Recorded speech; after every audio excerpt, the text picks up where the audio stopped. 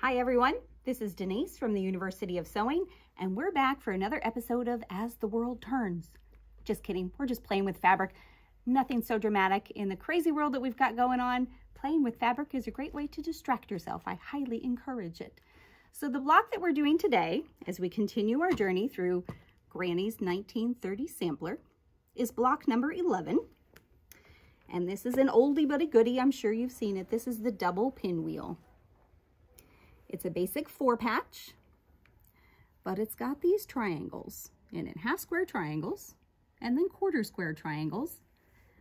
And the tricky part about this one, if there is any tricky part, is playing with those triangles and the bias cut.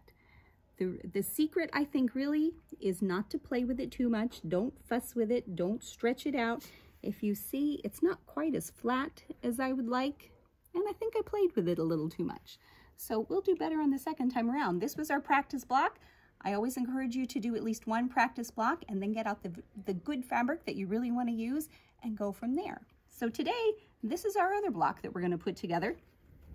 We've got half done here, and we've got a quarter done here, and we're going to assemble this last square. Now I do have it on my little design board that we've talked about before. This is just a homemade thing. In this situation where I'm sitting at this awesome Bernina sewing cabinet, I'm not moving real far, but if I had to get up and walk across the room to cut or get up and walk across the room to press, it's a really easy opportunity to get things flipped around. And with my luck, I don't notice it till after it's put together. So this little design board or something similar helps to keep me on track. If it's something you're interested in, you're welcome to get in touch with us. Uh, universityofsewing.com is our website, and we'd be happy to see about ordering something for you. We don't have any in the shop right now, but that, I'm sure that's something we can fix pretty easily. So we're going to get started. I'm going to move my whole design board over. And we're going to go this way to our friend, the old 880 Bernina. She's so pretty and so much fun to play with. The first step, we're going to put these two little triangles together and we're just flipping them on top of each other, making sure they're lined up nicely. And I'm gonna grab my little clippy over here. My arm's just a little too short. And we're gonna go ahead and stitch. Now, because we've got these pointy ends, we're stitching from here to here can be a little tricky to start at this very pointy end. So we're gonna start here. But another secret I have for you in working on these tiny little points, I'm hoping our camera can get in there and see, we've got this straight stitch plate on our machine today. So it's got this little hole here and it will only work if you're doing straight stitching. If you try to do anything else, you will definitely break a needle and possibly hurt your machine, which is never a good idea. But when you're doing something with these tiny little points, you want to use the straight stitch plate so that they don't get sucked in there. It's so annoying when that happens. I do want to show you what the other one looks like just to compare for you. Turn them around this way so you can see, I think. So this is, of course, for more decorative stitching, for zigzags and all the fun things that your machines can do. But it's real easy for these points to get sucked in there while you're sewing. And that's no fun, and it slows us down, and that's not what we're looking for. So I would also remind you too, I know things live on YouTube forever, but this is being filmed in March of 2021. Bernina is having a sale, 20% off presser feet and accessories. That's a great time to get one of these straight stitch plates. If you don't have one, I think you should consider it. So let's move on to our sewing. Get this guy out of the way a little bit. And we're using our quilting stitch, which is a little smaller than a regular straight stitch.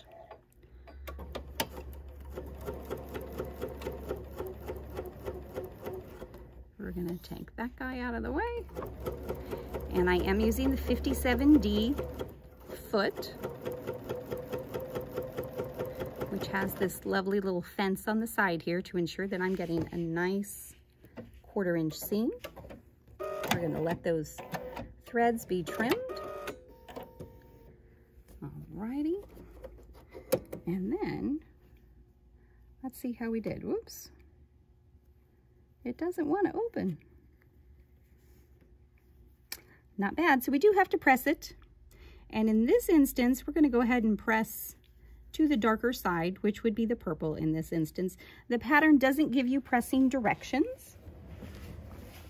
So it's kind of up to you. I will say as we get closer to putting the, the whole block together, I would encourage you to press things open. That'll make that seam in the corner where all of those pieces meet a little less bulky and you'll be much happier with that.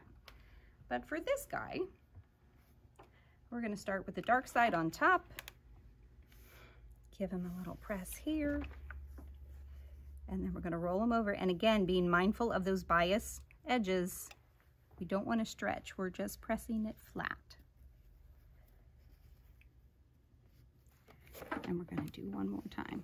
A little shot of steam in there for good measure.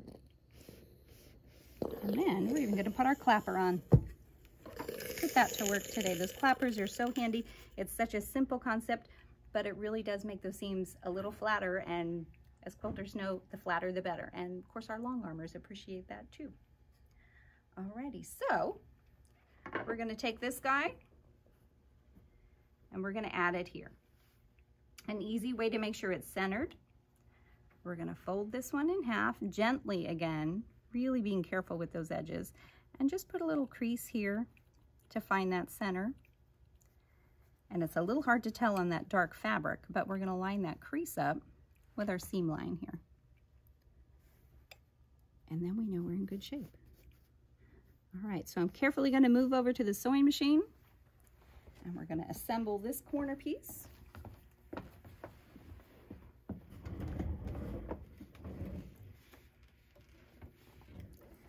hold my threads out of the way. Now this time we do have that pointy edge of the triangle. So this is really where that straight stitch plate is amazing.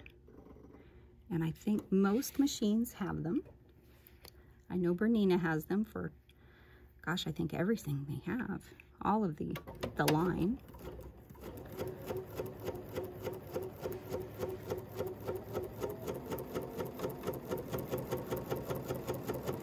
We just let the machine do its thing.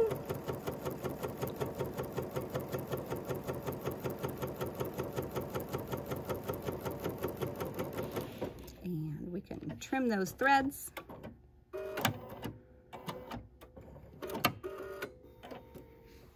And we'll open this up just to take a nice peek.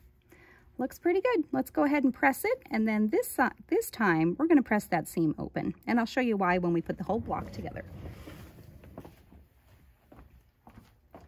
So we're gonna start just by setting that seam, making those threads get a little tighter. And then we're gonna start with it this way, just to get the crease in the larger triangle piece. Make sure we get everything to behave the way we want it to. And then we can go back in and open this guy up with our fingers. If you have one of those tiny little irons, this is a great time to use those. If you're sewing with little people, this part I probably would not encourage them to do. You might want to do that part. A little steam and put our clapper back to work there. So while that's setting, let's talk a little bit about um, fabric choices. So you can see we've got a little variety. We've got a light, a medium, and a dark. That's going to give us the best contrast so that you'll see the, the individual parts of the block. I think this would make a really cute block in maybe patriotic colors. Red, white, and blue would be adorable. It would be a really sweet baby quilt in, um, you know, some nice baby-friendly colors, something really cute. I'm sure it would make a new mom very happy to snuggle up her little one in something like this. The double pinwheel is a classic block that's been around for a long time, but it's so much fun. All right, let's see how our seam is. I'm going to give him one more shot this way. Just because. Why not, right? Okay, so now let's go over and we're to trim these dog ears off and then we're to start attaching things.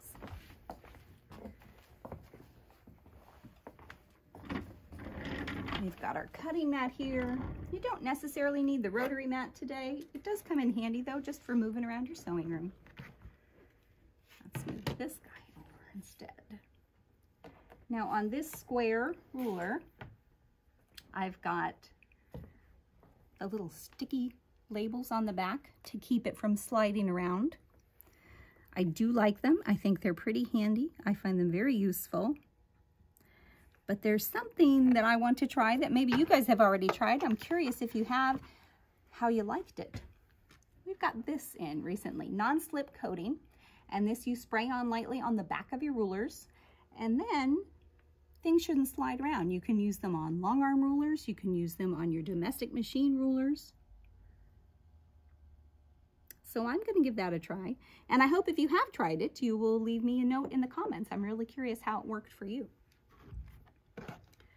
So with this one, we're going to trim off, I'm going to trim off these dog ears. I'll put my glasses on so I don't trim off the wrong thing. That's never fun.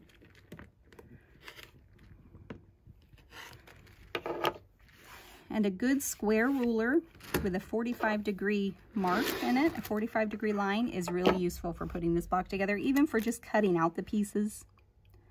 And you can see here, I can even line it up just to continue to square. So this is the 45 degree line on my ruler, and it goes along with that 45 degree seam on my block. I can move it around as I need to just a little bit. Block's looking pretty good.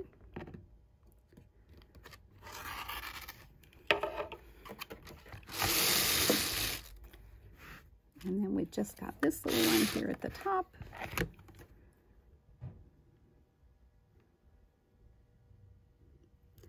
I know that we've got lots of new people that are joining us, and I just want to say welcome, and we're grateful, and we're glad to have you. We've got some quilters, we've got some non-quilters. I think we even have some non-sewists who are just a little curious, and that's awesome. We are very glad to have you watching. I hope you will jump in with us. This particular pattern that we're doing is 42 blocks. I'll give you another peek at the book here. So we are doing each one of these. Today we are on number 11. So if you have not yet started, there's plenty of time to jump in and join us. It's a great way to try out different blocks and different techniques and stretch your skill set. If you're just beginning, if you were to work through this pattern and do all of these blocks, I would say you would have a fantastic foundation for just about any kind of quilting you want to do. So consider it. I hope you'll join us. Now, we're going to go back and add the other half, making progress. The tricky part is to make sure we don't turn it around because that's what I'm really, really good at, but I don't recommend it. So we've got this piece already in shape, so that helps we know that guy's to go there. And then this one, see, I'm trying to turn him around now. It's going to go that way. Yep, that's it. If you're not sure, a really cool, easy tip, take a picture of it with your phone and then look at it because you will always see it in the picture even if you can't see it up close. I don't know why it works, but it works for me. So let's put these two together. Oh, I missed some, some dog ears on this guy. Let's get that one out of there. Easy fix.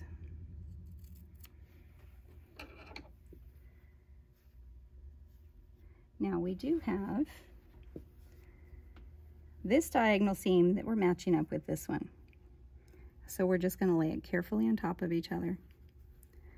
And if you see, I just kind of fold it in and it will follow along the other seam line. And it's up a little far. Make sure we're in good shape here. Alrighty.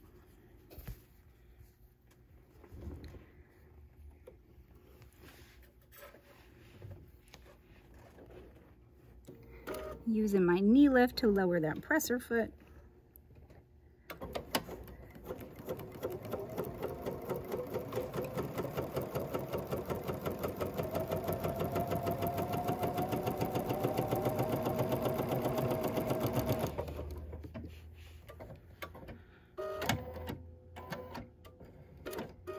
So if you guys are enjoying our videos, and I hope you are, please make sure that you are giving us a thumbs up on YouTube. Share them with your friends. Even if you just get a good laugh out of it, share that with your friends.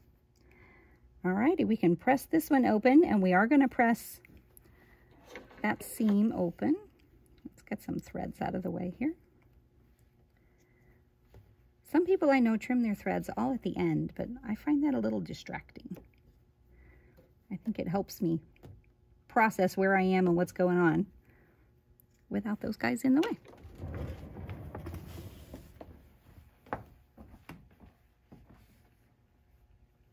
Alrighty.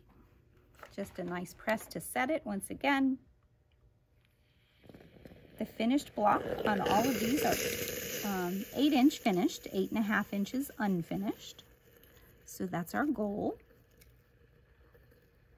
Some blocks we get a little closer than others, but that's all right.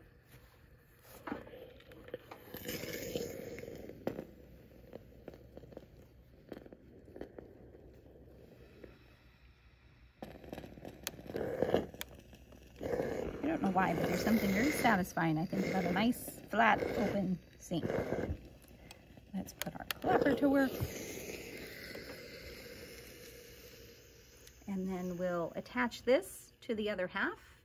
And our block's going to be done. Guys, we're really close.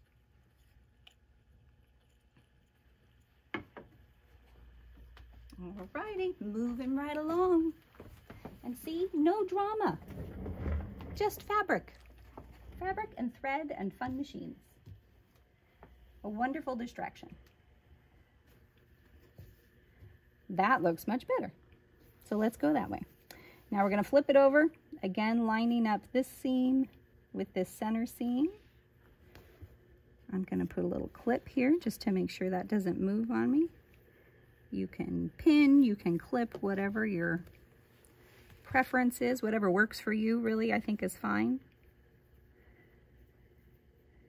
There have been a few times when I found one to work better than the other. I don't think this one is one of those blocks.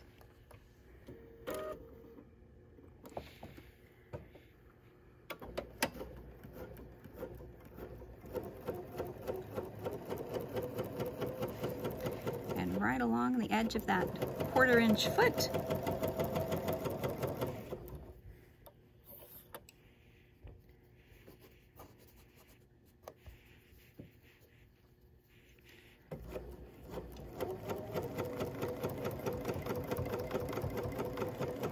slow and steady, right guys?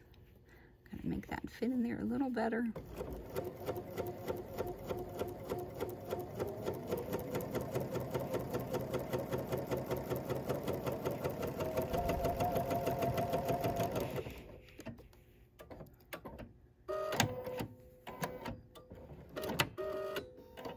Love to hear all those clicking noises the Bernina makes when it's cutting thread.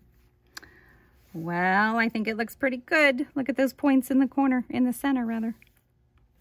We just need to give it a good press and this one's ready to hang on our wall until we are ready to assemble all of those blocks. This is definitely a marathon project, not a sprint, but that's all right. This would be a fun project to do as a group if you've got a guild or even just a bunch of friends or neighbors that want to get together and work on these. You may find that you can share the uh, teaching part of the techniques around and say, okay, you show us how to do this one and you show us how to do that one.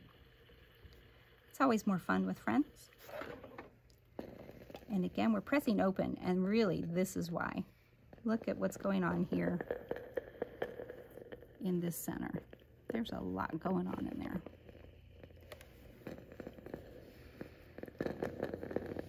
You can hear my iron gurgling.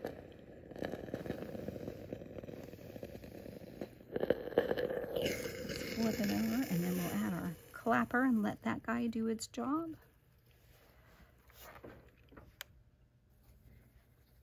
Give it a nice press here. Alrighty, so while that's doing its thing, cooling off, becoming perfectly flat because that's how I want it, because that's the way it works, right? Mm, not always. I have something else I want to share with you. We are a long way from thinking about the quilt label for this quilt but we just got a really cool bolt of fabric in with panels that I had to share with you. So this is, put it over here so you can get a good look. This has got a wonderful variety of quilt labels. And it is a panel, so it's sold, it's cut this way. And you have got, I don't even know how many. Well, there's 12 there, so maybe 24 on here. But whenever you're doing your quilt, whether it's the granny sampler or the one for your grandkid to take outside to play with the dog, please always put a label on them. It's so important. The uh, Your descendants and the people in the future who look at your work will be so grateful that you took the time to share who you are as well as um, your gift of sewing. These you can fill in all the information, you know, who the recipient is, when you made it, maybe why you made it, what the occasion was for. Your machine embroidery unit would be a great way to do this. You could certainly do hand embroidery. There are permanent fabric markers. You can just write it in. There's so many ways to do it. Just please make sure you do it. Now, let's check on our block.